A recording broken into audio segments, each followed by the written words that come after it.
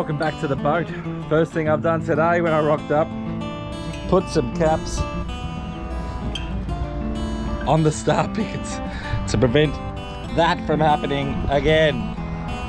Anyway, anyway, today I want to start looking at ripping the engine out, I reckon, see if I can get some of the engine out and um, see how we go from there. All right, let's go have a look inside, see how much water we've gathered over the last week that I've been away. So we've got a little bit of water in here. Um, all in all, not too bad. Not too bad. So, let's start looking at this guy. It's gonna be very awkward to get out of that gap. So I'm gonna see if I can dis dismantle as much of it as possible in here um, and take the sections out that I can then clean up and then maybe reassemble it all in here later when I get all the bits cleaned up. But we'll see how we go.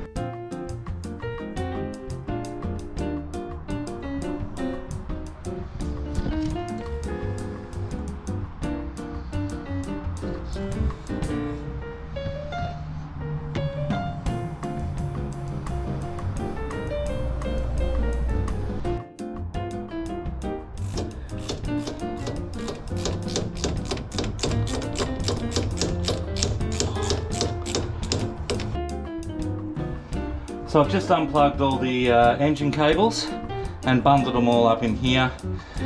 They're running up to the engine controls that are up on the deck up there. And um, so I'm gonna leave that bundle for now. I'll probably replace all these, these wires though up into there, but I'll leave it all together so that I can figure out what it all is and where it's all going later and make sure I get them all into the right spots.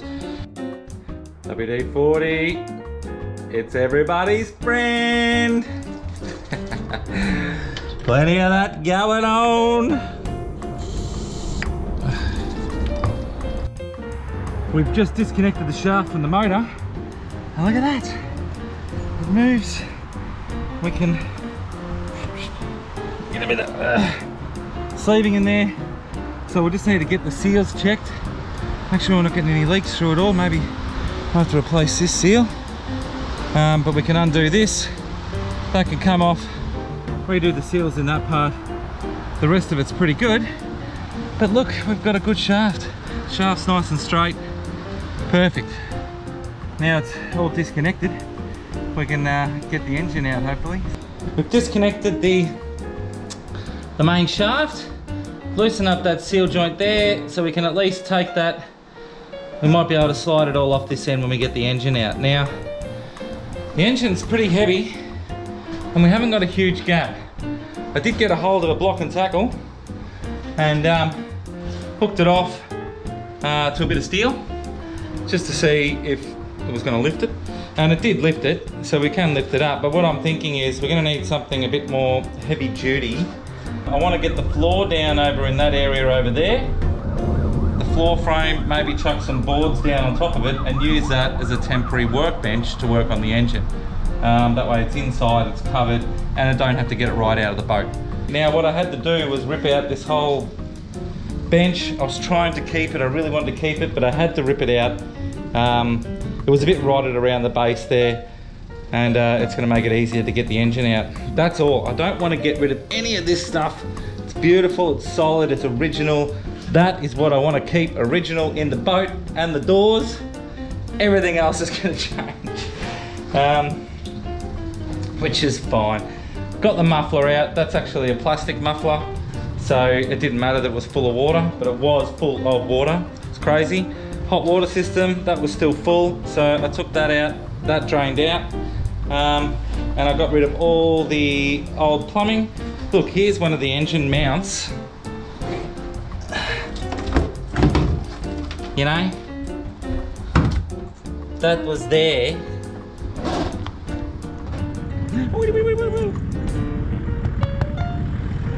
Welcome back.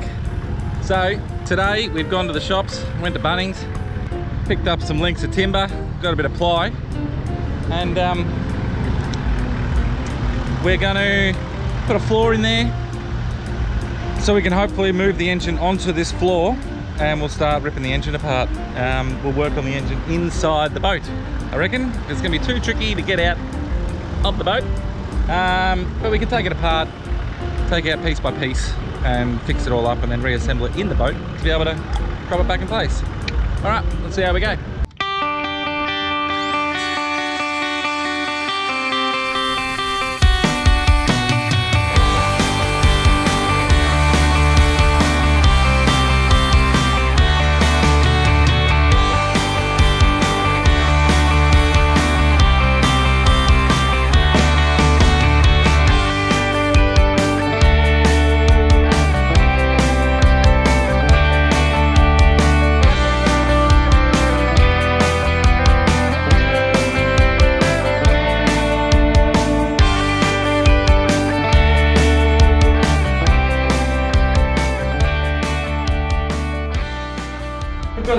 Bit of false floor in, a bit of a work area, somewhere I can take the engine apart in here and put it on something.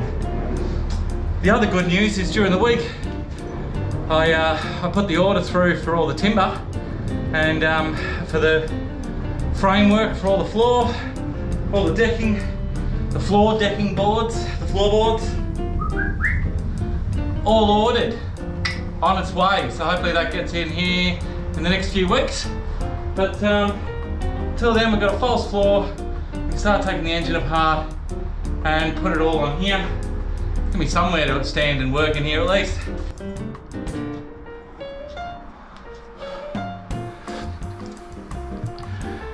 So we've nearly got the exhaust manifold and everything off. We've got the intake manifold off. The actual, uh, I took the rubber rocker cover off and the valves. Everything looks pretty good. It's just got a bit of oil on it. Checked in the dipstick and um, it doesn't look like there's a lot of water in the oil at all. It looks like it's, it's just oil. So I think it's been sealed up pretty good um, considering how good everything looks on the inside. But we've got to take it all apart. We've got to clean it all up, everything. Okay, so we've got the exhaust manifold off and you can see how rusted and terrible that bolt was. In the end, we just had to just drilled out the end and it moved a bit, so then we just gave it a tap, tap, tap, tap, tap, tap, and it slid off. So that's good. That means we can get this out, clean it all out, and uh, put a new one in. There's a lot of work going on. Like these are these are ruined. All this needs a really good clean out. We need to take all the valves and everything off um, and give this a real good clean out because it is rusty. Oh, she's loose. Kinda. It's too hard to hold this bloody thing and do that.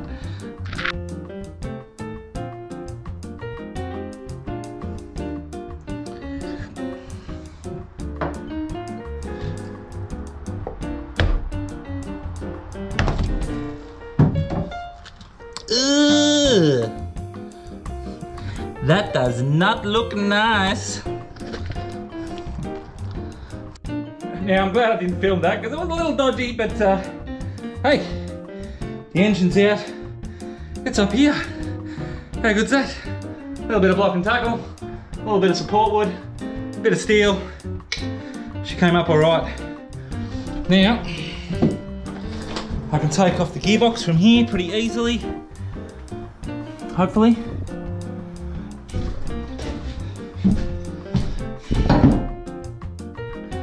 Starter motor's rooted, we'll get a new one of those, get a new starter. That'll clean up, that'll clean up, that'll clean up. We'll have to get a new exhaust pipe made up, I reckon. Um,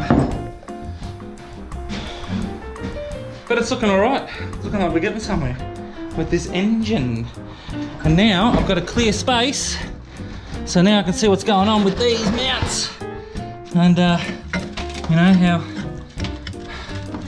really bad they were holding down because I could just rip it out. So that's how much thread was holding it in. Okay.